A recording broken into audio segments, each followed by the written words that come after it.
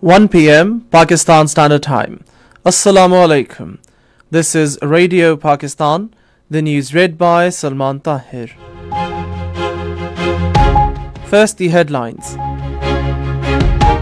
Prime Minister has reaffirmed Pakistan's strong commitment to strengthen national HIV response in unison with global community. Deputy Prime Minister has termed cultural diplomacy vital for promotion of relations with various countries.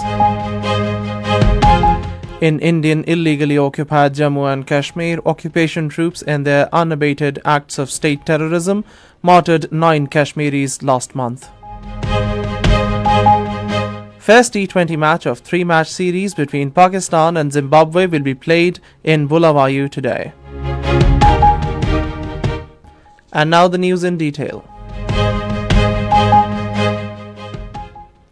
Prime Minister Muhammad Shehbaz Sharif says Pakistan stands united with the global community in reaffirming its firm commitment to strengthen the national HIV response.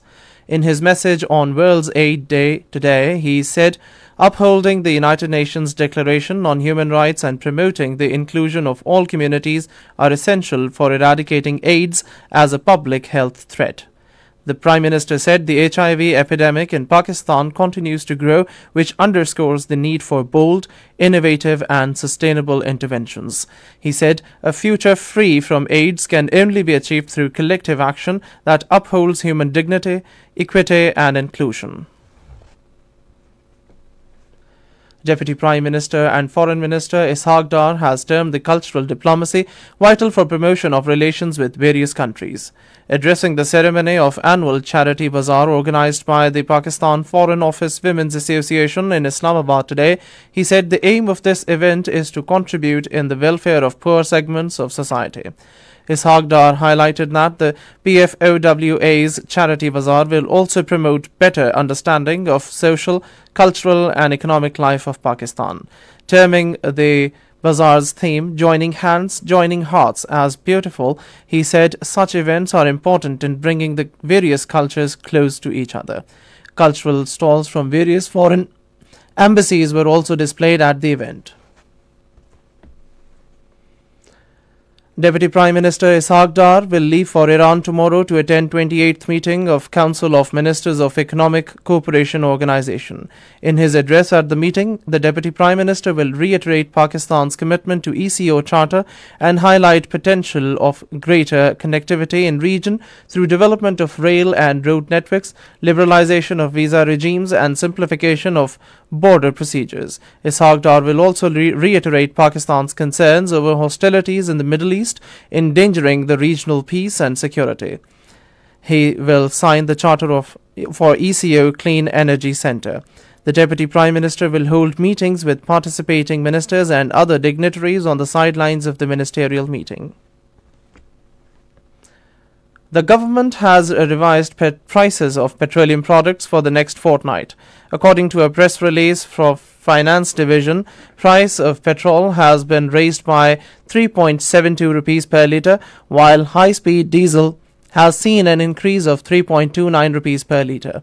After the raise, the new price of petrol is 252.10 rupees, while that of high-speed diesel is 258.43 rupees.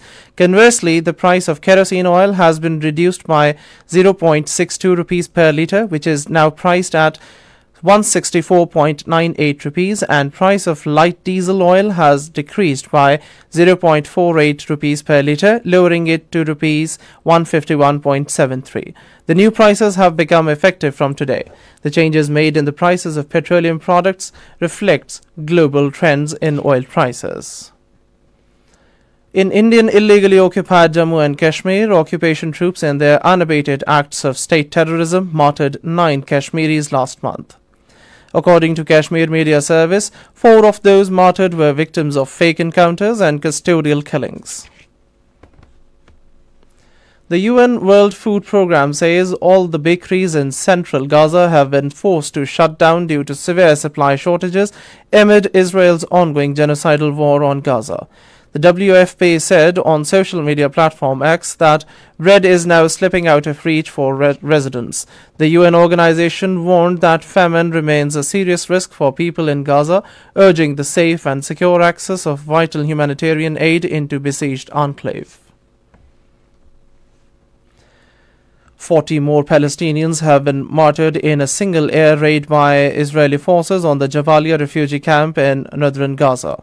Israel's genocide in Gaza has martyred over 44,300 Palestinians since October last year. In Syria, the government forces have withdrawn from the Aleppo city following an offensive by rebels opposed to the rule of President Bashar al Assad. According to the UK based Syrian Observatory for Human Rights, more than 300 people, including at least 20 civilians, have been killed since the offensive began on Wednesday.